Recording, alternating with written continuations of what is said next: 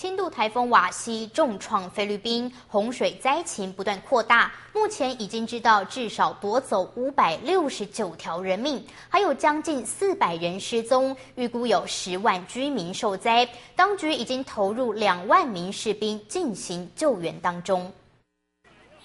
连日豪雨造成河流决堤，两米高洪水冲入，淹没了街道和住宅。瓦西台风十二月十七日从菲律宾南部明达纳尔岛登陆后，带来强烈暴雨，引发洪灾。目前至少已经造成五百六十九人死亡。当局指出，电力中断和桥梁毁损，使得救灾行动困难。收容中心目前约有三万五千人，同时当地物资也十分缺乏。濒临沿海的卡加延德奥罗和伊里干两处地区灾情最为严重。For me, this is the worst. No, uh, uh, everywhere you see. Uh, uh, places that have before been occupied with so many houses, now it's it's all of them have been washed away, no?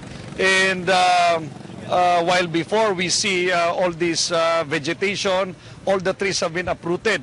Even the bridge, no, even the bridge is uh, one swept away. 菲律宾红十字会表示，灾情来的突然，又发生在民众熟睡的夜间，同时受灾地区相当广大，许多房屋被冲毁，预计死亡人数还会继续增加。新唐亚太电视黄千峰编译。